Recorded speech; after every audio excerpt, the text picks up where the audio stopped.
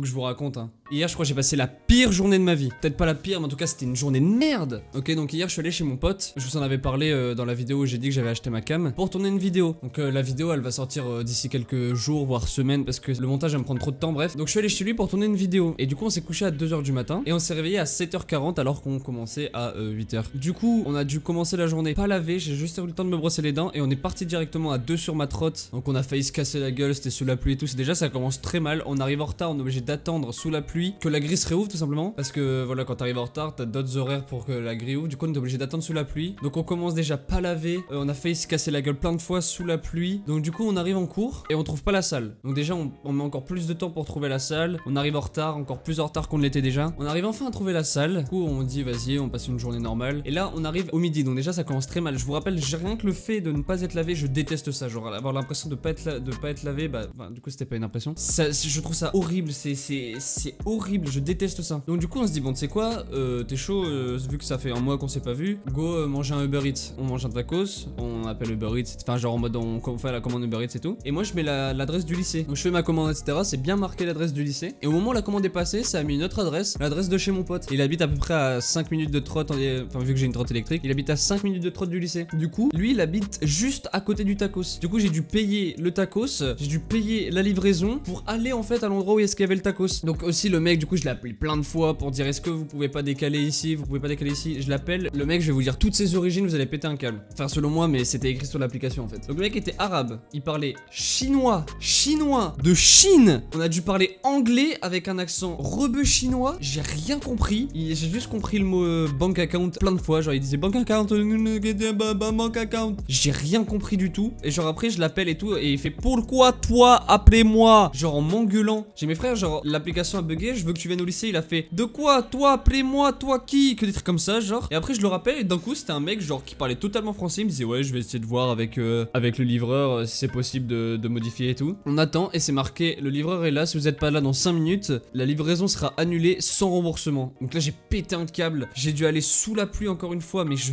pue à transpi et tout. C'était horrible. J'ai dû aller sous la pluie, à, euh, griller tous les feux rouges. J'ai vraiment failli me faire renverser mes vénères par une voiture. J'ai réussi à l'esquiver et tout. Ça a aucun sens. J'arrive là-bas, le mec m'engueule en disant euh, en gros ce que j'ai compris c'est que il, il aurait pas bougé parce qu'il avait la flemme. Donc du coup voilà ça m'avait cassé les couilles. Mais grosse grosse grosse euh, incompréhension. Du coup après on est en cours. Moi je suis fatigué de la veille. On s'est couché à 2h du mat. On a dormi 5 heures. J'étais mort donc je me suis écroulé en cours. Ensuite j'arrive je, fais tout le trajet de jusqu'au métro sous la pluie encore. Mais c'est rien que ça. Le fait de pas être lavé et être sous la pluie c'est horrible. Et le fait aussi d'avoir euh, d'avoir galéré à manger au midi ça m'avait saoulé. Et là du coup je récupère mes affaires chez mon pote je récupère ma caméra mon micro, etc. Parce qu'on a fait aussi une émission radio. J'arrive dans le métro, je loupe mon métro. Ça a une importance parce que le métro il passe toutes les 5 minutes. Sauf que si j'avais eu le premier métro que j'ai loupé, bah j'aurais pas loupé mon train. Du coup, je suis arrivé à 18h55 à la gare alors que mon train était à 53. Donc j'ai loupé mon train. Le prochain il était à 20h07 au lieu de 19h. Du coup, enfin 18h53. J'ai dû attendre une heure dans le froid parce qu'il faisait trop froid